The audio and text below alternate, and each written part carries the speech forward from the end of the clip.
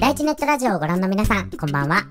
昨日サンフランシスコから帰ってきたばかりで、渋谷の街中で人にぶつかりそうになった時、Sorry. と言ってしまいました。MC 担当の大チッチです。前回の動画のコメントにもたくさん相談をいただいたのですが、実はその他にも募集していたものがあります。これです、これイラスト募集えー、はい、うーん、あの、僕、ビートボックスの方は、まあ、割と得意な方なんじゃないかなと思うんですけども、えー、このイラストとか絵っていうものに関してはね、もう全く素人でね、この不器用な絵をデカデカと乗っけちゃったんですね。もう少し見栄えを良くしたいということで、皆さんにイラストを募集したと、人の力に頼ってしまったと。悪気はなかったんです。最初、最初はそんな、そんな、そ、せっかくたくさんのイラストをいただいたので、ここでご紹介します。iBeatBoxBabies さんより、えー、これは桃ですかね。うん。かわいいです。これはベータ、ベータでいいんですかね。ベータ絵師を目指すさん、えー、大地さんを描いてみました。大地さんのビートボックス大好きです。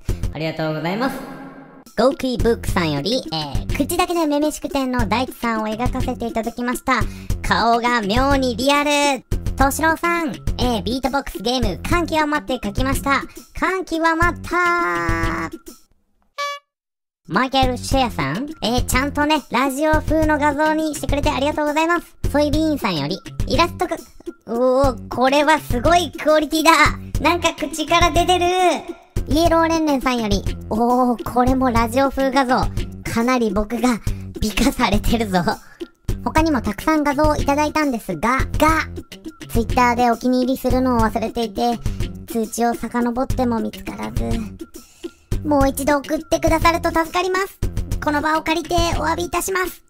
お送りいただいたイラストに関しては、このように動画で使用することもございますので、何卒よろしくお願いいたします。はい、そして本題の相談コーナーなんですが、やはりビートボックスに関する相談が多いので、今回はそれに答えていきます。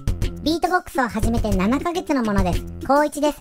世界のビートボックス大会などに出ている外国人や日本人などの凄すぎる技を見ていて、ビートボックスをやる気をなくしてしまいました。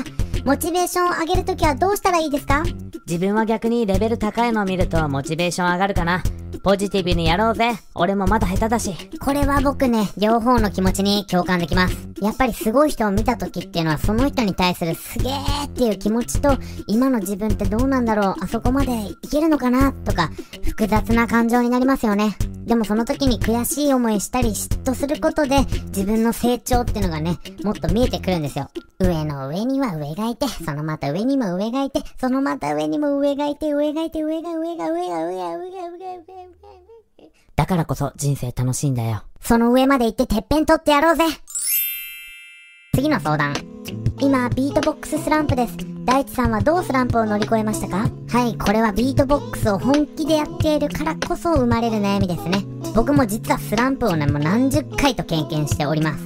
このスランプの時ってもいくらやってもなかなか伸びないんですよね。じゃあどうするか一回やめちまえスランプなってもうどうしようもないって時はもうね、やっていることから一度離れよう。そのままやり続けたらもしかしたらもうやっていることさえ嫌いになってしまうかもしれない。そして一度離れてみると、離れてる間に何か見えるものがあったり、またやり始めた時に新しいものが生まれたりっていうことがたくさんあります。もうこれはビートボックスに限らずです。なんだかなーってこうマンネリした気持ちでやり続けるよりも、やっぱり新しい気持ちでリフレッシュした状態で取り組むことが、実は長く続ける秘訣だと思います。三日坊主って言葉ありますよね。ここでもちろん3日しか続かなければ何にもものにはならないけれど、じゃあ三日坊主が10年続いたら、これは本物になります。だから最初は三日坊主でいいんですよ。とにかくやっていることを好きであること、もう嫌いにならないことっていうのがね、まずはね、成長する一歩大事なところです。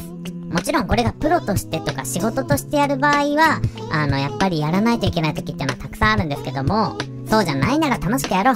それが一番早く成長する近道だと思います。っていうね、まあ話し出すと止まらないということですよ。まあこれで救われる人が一人でもいればそれでいいです。これからも自分自身、もう音楽やビートボックス、そして動画も楽しんで作っていこうと思います。人生楽しんでいこうぜということで、イラスト紹介と三日坊主のすすめ動画でした。また次の動画で会いましょう。See you next beat!